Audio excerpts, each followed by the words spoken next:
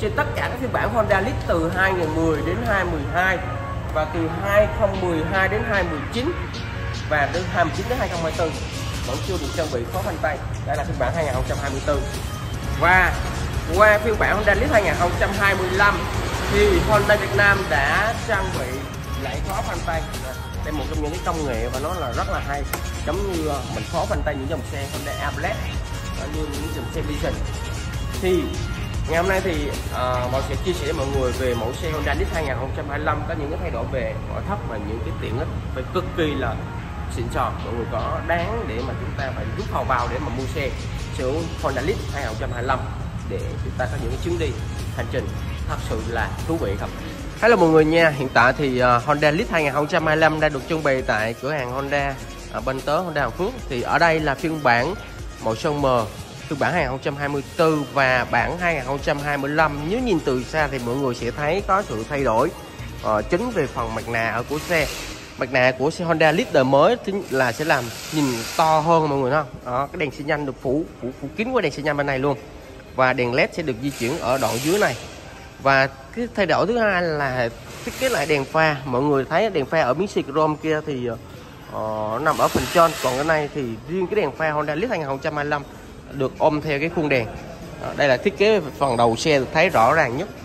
Và điểm đặc biệt khác thứ hai mà Honda Việt Nam muốn uh, mang đến cho tất cả khách hàng một trải nghiệm đó là công nghệ phanh ABS được trang bị ở một kênh bên trước. Đây là ABS mọi người.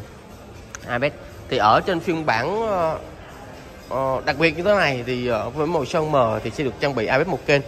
Còn ở phiên bản uh, Honda Lead ở cũ thì chỉ có công nghệ phanh combi brand tức là phanh CBS thôi mọi người à, điểm đặc biệt khi mà được kết hợp ở đơn phiên bản Leader mới sẽ được có một cái lẫy phanh tay. Mà hồi giờ trên tất cả các đời xe lít chưa bao giờ có thì được trang bị cái, cái phanh tay này.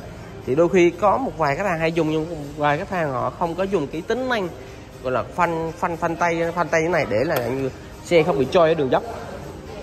Và điểm đặc biệt khác nữa mà à, em muốn chia sẻ với mọi người đó là thiết kế về cái học đồ cái này là kiểu mình gạt xuống để mình mở ra. Cái cốp này nó có vẻ như nó rất là rộng nha. Mọi người có thể đưa cái tay vô cảm nhận nó khác với cái, cái cốp xe của Honda Lead như thế này. Cái này mà đưa vô nó cảm thấy rất là chặt chội nhưng mà cái cốp xe cực kỳ rộng. Và cái phần nắp xăng bên kia mở nó nhẹ nhàng hơn. Và điểm thay đổi đó là thiết kế về đồng hồ. Lít 2024 và lít ở cái đồng hồ 2025 à, thiết kế lại nhìn có vẻ hiện đại hơn. Nhìn thấy nó lạ hơn rất là nhiều. Và một điểm khác nữa đó là ở trong cốp xe của Honda Lead 2025 được trang bị một cái đèn. Đèn sáng trong cốp xe này mọi người cái này nè. Muốn bật tắt sáng là chỉ cần nhấn cái nấm này, này. Đó. Nó tắt đi. Bật sáng lên. Và ở trong cốp xe Lead sẽ được uh, trang bị một cái gài như này. Để làm gì để chúng ta có thể ngăn cái cốp thành hai ngăn. Mà nếu như không ngăn thì mình có thể để những vật dụng bên bên hông cái này. À, đó là những cái thay đổi mà dễ dàng nhìn thấy nhất ở trên phiên bản xe Lead 2025 và có những cái tùy chọn về màu sắc mới. À, tuy nhiên về động cơ ESP cộng thì không có thay đổi nhiều về cái động cơ chỉ thay đổi về ngoại hình và trang bị thêm công nghệ ABS và hiện tại thì xe cũng đã trưng bày tại tất cả các đại lý anh chị có thể qua xem những cái mẫu xe.